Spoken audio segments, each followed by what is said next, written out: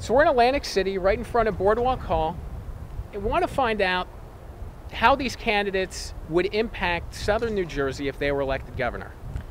Well, southern New Jersey has become a topic of conversation among the candidates. They have spent a lot of time talking about South Jersey while in North Jersey, while in Central Jersey. They haven't necessarily been here talking about the problems that we have here.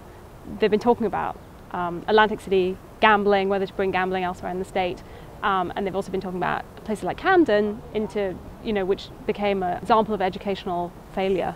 Chris Christie's up 10 plus points Right, in the right. polls in August, Yeah. and something changes. Right. You know, let's talk about how Corzine was able to erase a, a 10 point deficit in, in two and a half months. Well, Corzine owes Barack Obama dinner because in August um, we understand that the White House actually became was looking at the numbers, um, like I said, one of the only competitive races happening in this cycle, and they saw it was not going the way they wanted it to go. Since then, they really um, tried to carve out some very clear points um, for Corzine's campaign to make.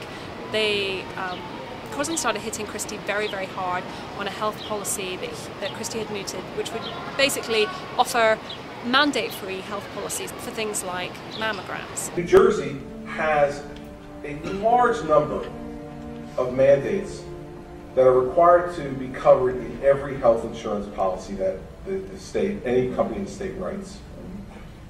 A lot of those services are ones that would not be needed by your daughter more likely than not.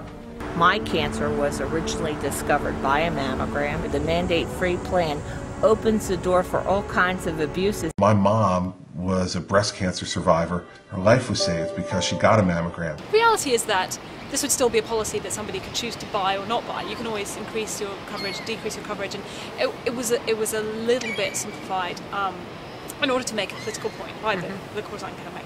So that's where we suddenly found ourselves talking about mammograms like they were a, a political hot, hot potato, and uh, Christie really struggled to get out from underneath that. One of the interesting things about this race has been the fact that you have an independent candidate in the mix of things. Right. Talk about the party backing versus independent and, and really what that means for New Jersey's voting landscape. You've actually got more registered independents than you have um, registered for either other party. So they are the middle, they are the battleground. And in any election, you've got uh, candidates going after their attention, trying to find the issues that matter to them. And that's usually what happens is there's sort of a tug of, you know, backwards and forwards between the Democrat and the Republican who um, try and appear moderate in, in sort of the middle and appeal to that middle base. In this race, uh, we had Chris Daggett arrive. There's no, there's no denying that Daggett changed the race. There's no denying that Daggett changed what um, the race has been about for New Jersey. We got into a, I mean, it's been it's been a, a better race in many ways for the presence of Daggett.